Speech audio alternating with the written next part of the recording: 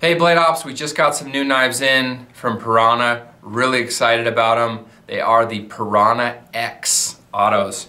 Here is the all black tactical model. And has a very interesting pattern on the handle. You can see it there. I think that's why they're calling it the Piranha X. Has some nice traction. And it's made with similar materials that uh, Piranha always uses. It's got those high quality aluminum handle scales. Sometimes they use the S30V steel. This one has a 154CM steel blade. You can see the black coating on it.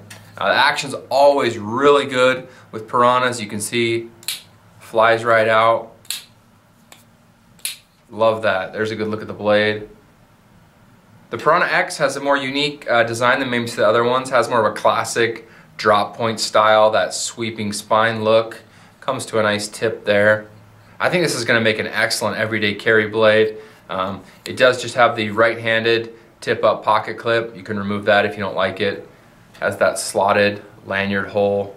Pretty light at 3 ounces. As far as blade length, you're getting 3.3 ounces of the 154CM steel. Overall length, 7.45 inches.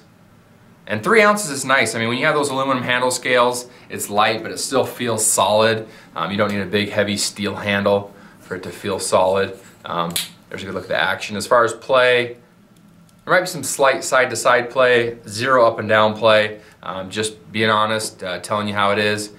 $147 shipped. I think that's a great price for what you're getting. Made in America, Great blade, made by Piranha, a company that's been around a while. And if you're in the market for an auto, I think this definitely fits the bill. Um, everyday carry. I do like this this grip on top. It doesn't have like a traction insert like G10 or something like that, um, or that rubber grippy stuff. But when you get those milled X's in the handle, I think it's plenty of grip. You're not gonna have any problems um, sliding up when you're doing cutting.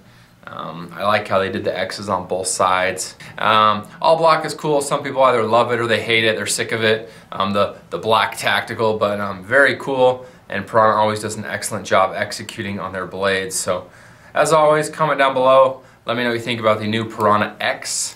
And those are live on the site right now. I'll put a link down below in the description and check it out. Blade Ops.